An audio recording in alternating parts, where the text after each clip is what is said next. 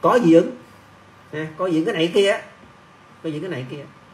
Thì bây giờ người ta xác định lại là dị ứng mà phải tới mức độ 2 kìa ha. mức độ 2 đó về lý thuyết á ha, mức độ 2 bị lý thuyết á là phải có chích AR nha. Phải có cấp cứu AR đó. Chứ còn nếu độ 2 mà chưa AR là cái chuyện không phải à nha. Độ 2 là phải rần rần rần rần chích AR vô. Nhưng mà thường thường nó là tới cái phản ứng là nó phải tê tê mặt ha. Tê tê mặt mà phù phù lên rồi thậm chí là đau bụng choáng váng thì có thể nó là độ 2 còn ví dụ mình ăn gì vô nổi mề đay là không phải độ 2 nha thành ra người ta không có bàn tới. Lúc trước người ta cái, cái lời hướng dẫn trước người ta hay bàn hỏi là có dị ứng gì không ha? Nhưng bây giờ là có dị ứng ở mức độ 2 hay không? Nha, mức độ 2 không? Đó mình nhớ nha mình nhớ cái đó. Mà độ 2 nghĩa là chạy rần rần á là phải chích AR đó.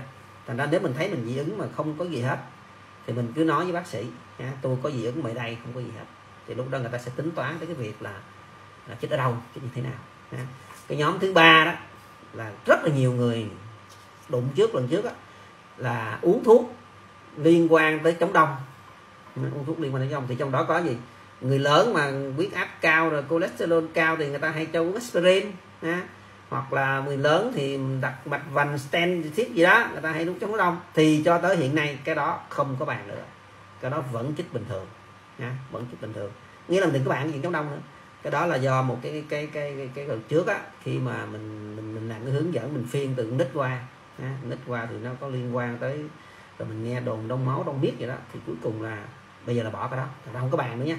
Không có bàn nữa. Đó. Thì nếu mình là cái người mà có bệnh nền đang ổn định chết. Nếu mình là cái người hồi trước bàn ngày dị ứng mà không phải đầu hai chết.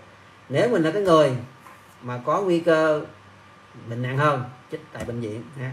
Thì tất cả những cái hướng dẫn đó chúng ta tiếp tục theo dõi để mà để mà học ha, để mà mà tìm hiểu để mà, mà coi mình có chích được hay không thôi. Chứ đừng có tưởng tượng là tôi yếu quá chích không được ha, tôi cơ địa yếu quá tôi này tuổi tôi già lắm rồi ha chích không được.